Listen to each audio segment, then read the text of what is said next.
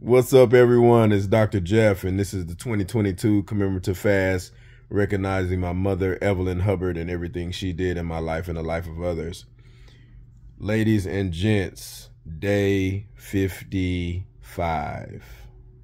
Wow. Time flies when you are having fun. Today, we're going to talk about electromagnetic radiation. All right. So, this is a real thing. It may not be something that you're really familiar with, but it's affecting people's health all over the world. Guys, we live in a technology age, we live in an information age. We are walking around with supercomputers in our pockets.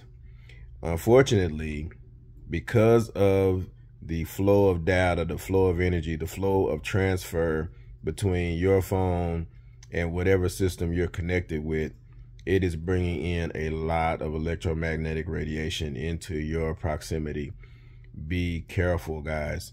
I really would encourage you no longer to put your phone up to your face, up to your ear for long periods of time. I know for me personally, it starts to give me a headache. All right. So once I started recognizing that listening to my phone directly to my ear started to make me feel uncomfortable and make me feel weird and make me start having headaches, I stopped doing it. So I exclusively use my headphones.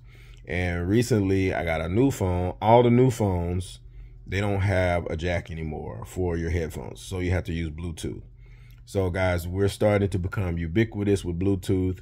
You know, all of our devices have Bluetooth, whether it's your iPad, whether it's your laptop, whether it's your cell phone, whether it's your headphones, whether it's one of these smartwatches, um, whether it's your Alexa system, whatever.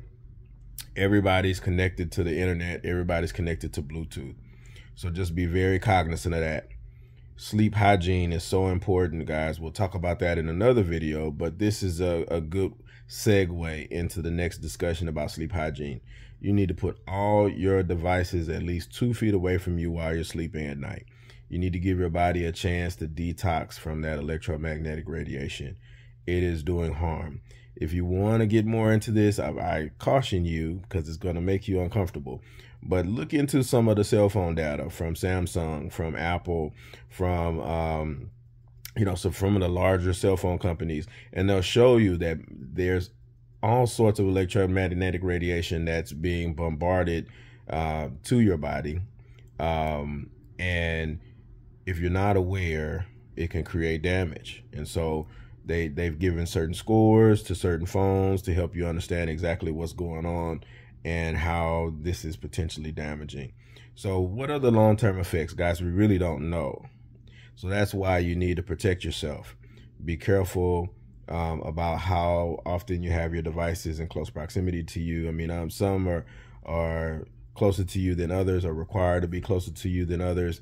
But the reality is, is that if you can be away from them, do your best to do so.